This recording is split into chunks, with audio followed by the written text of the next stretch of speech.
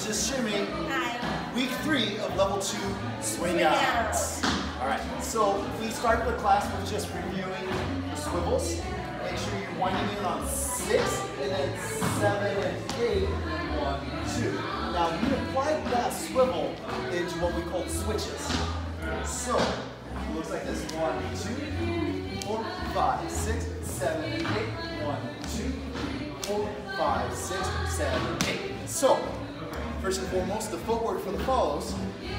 It's the same as your Yeah. one, two that you normally do with the swivels, but just going in and more circular motion. Yeah, you are pulling it outward. So one, seven, and eight. Collect out, collect out, collect out, collect out. For the leads, you do this one, two, three, four, five, six, seven, and eight. And plant. Plant your right foot One, two, three, four, five, six, seven, eight. Center your weight, so you're not moving forward or you're not moving back. You just become an anchor. Sorry, yeah, you become, you're centered and you become an anchor for the follow to travel around you. Now follows, we talked about how we're not trying to circle around our, we're not trying to circle around our lead. We're actually always trying to go away. Away, away, away, away, away. And we're keeping them, And our leads are keeping us in orbit around them. yeah, He is the sun, we are the earth.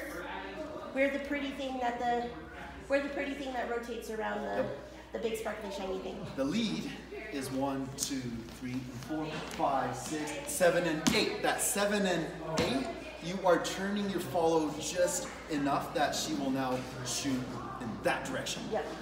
Seven and to get out, once you go seven and eight, one, two, three, four, five, six, seven, eight, one, two.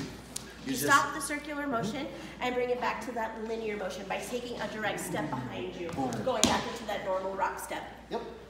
And then we worked on some over rotated swing outs.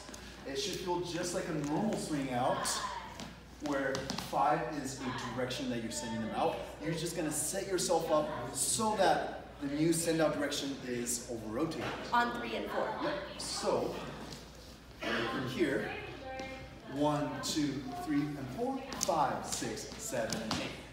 So you just have to set yourself up so that five, still being directional, will be in a new direction. Yep. And then lastly, we worked on Over over rotation. rotated. Five, six, seven, eight, one, Into two, switches. four, five, six, seven, eight, boom, boom, five, shoot, do. And that was the class.